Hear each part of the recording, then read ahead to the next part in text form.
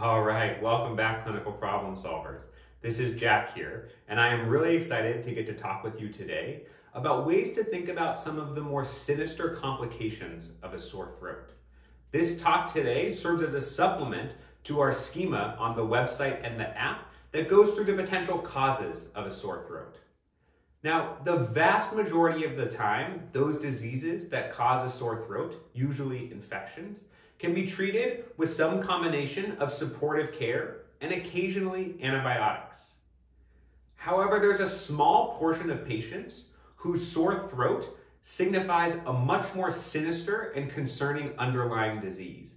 And that's going to be the focus of our talk today.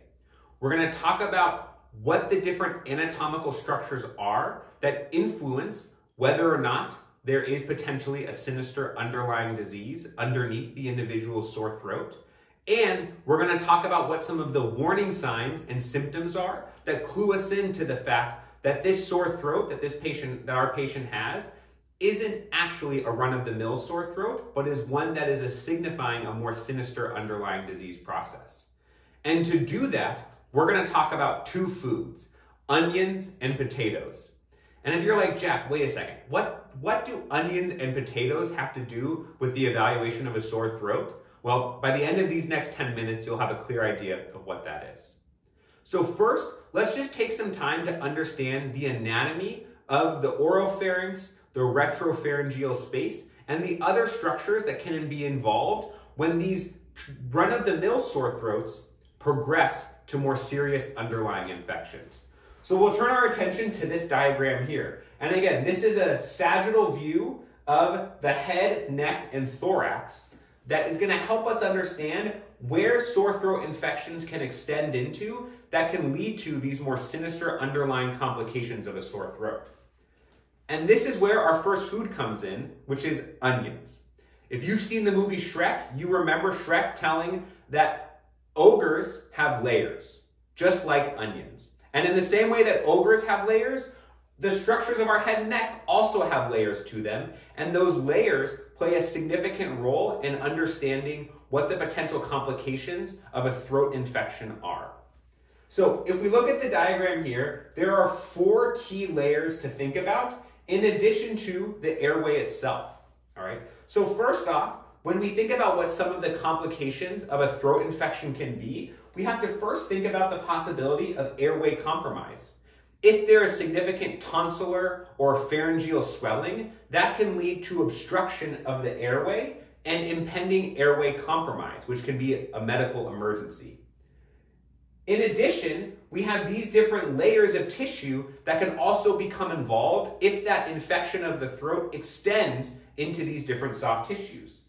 The first layer is going to be the submandibular space. And this, sit, this sits underneath our chin and in the anterior portion of our neck. When infections move from the throat to the submandibular space, that's usually what we call Ludwig's angina, for example. Now, moving behind the throat, we get into the first space, which is the retropharyngeal space. And the retropharyngeal space runs behind the pharynx all the way through the soft tissue structures of the neck. It gets close to many different vessels within the neck. And so some of the infections that can involve the retropharyngeal space include things like a retropharyngeal abscess. And sometimes that inflammation can lead to the development of a blood clot in one of the jugular veins, an extension of the infection into those venous structures. And this you might have sometimes heard of termed Lemierre's syndrome or internal jugular vein septic thrombophlebitis. This develops because an infection has spread from the pharynx into the retropharyngeal space. Now behind the retropharyngeal space is this red area here, which is called the danger space. And the danger space is so scary because as you can see, it runs all the way down through the thoracic cavity. So if an infection moves from the pharynx through the retropharyngeal space and extends into this danger space, it can run straight down into the mediastinum and cause mediastinitis. Now, very rarely, infections can move even one more layer back into this orange area here, which is called the prevertebral space. And the prevertebral space runs all the way along the spinal column. And so this is a very, very rare space for throat infections to move into because it has to track back through many layers. But when that does happen, right, we run the risk of developing osteomyelitis of the spine anywhere along the cervical, thoracic, and even down into the lumbosacral spine because this space runs all the way down the vertebral column. So again, the layers of the onion of head and neck infections include the submandibular space where we get Ludwig's angina, the retropharyngeal space where we can get things like a retropharyngeal abscess or Lemierre syndrome, the danger space where we can get extension into the mediastinum, and then very rarely the prevertebral space where we can go all the way down the thoracic column.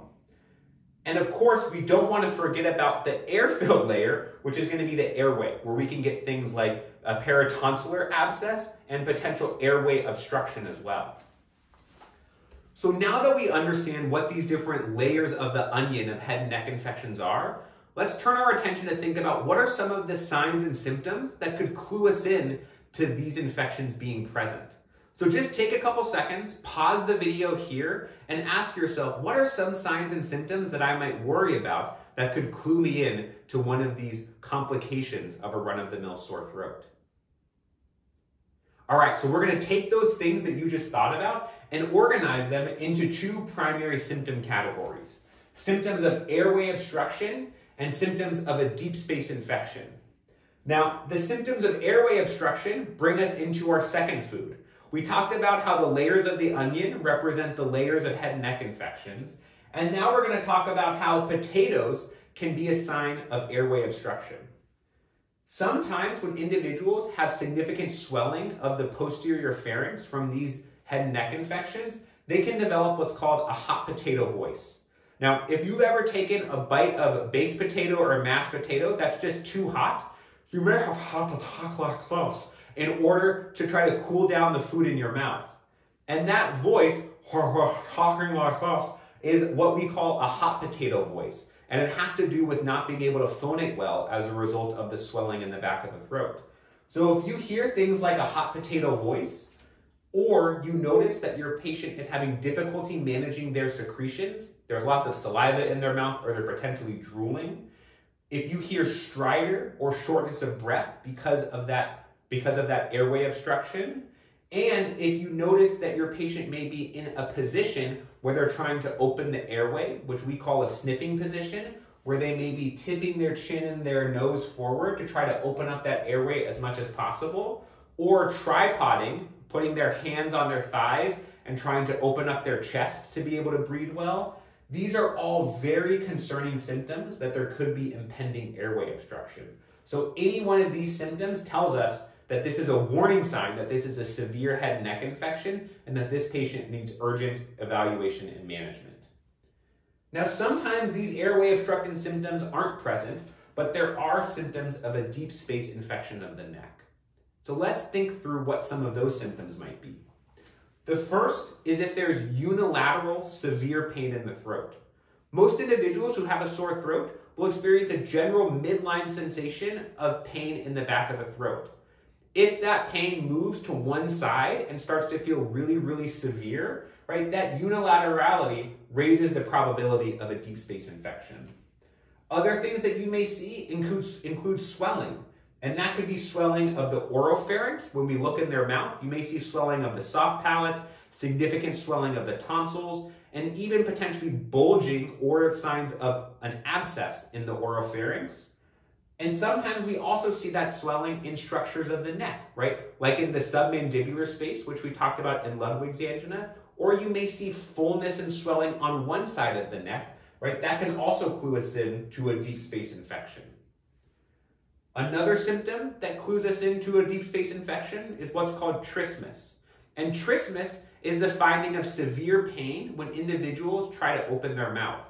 So if you ask your patient to open their mouth so that you can look in the back of their throat and they can only move their jaw a few centimeters because it's so, so painful, we call that trismus and that's also a sign of a deep space infection. And then finally, if somebody has a sore throat and they're really, really sick, that is quite concerning for an underlying either uncontained focus of infection or an infection that has spread throughout the structures of the head and neck right? So if you see things like, like high fevers rigors, a really high white count in the setting of a sore throat, that's also another warning sign that we take really seriously. So now that we understand what those warning signs are, let's think about what tests and what evaluation and management we may need to do in order to diagnose and treat these possible infections. There's going to be two key steps, and they are going to involve airway management and imaging. The airway management is going to be of particular priority if we have signs of airway obstruction. Right? This swelling within the oral pharynx runs the possibility of occluding the airway, which would cause a medical emergency. And so when you see signs of airway obstruction, prioritize looping in your ENT colleagues the, for them to do an evaluation of the structures of the head and neck and potentially secure the patient's airway if needed. The other thing we need to do is we need imaging to be able to understand where the infection may have extended to through these different layers. And for that, we're going to get a CT neck with contrast, and sometimes we may run it all the way down to the chest, particularly if you're worried about extension of the infection into the danger space. All right, CP solvers, that covers it.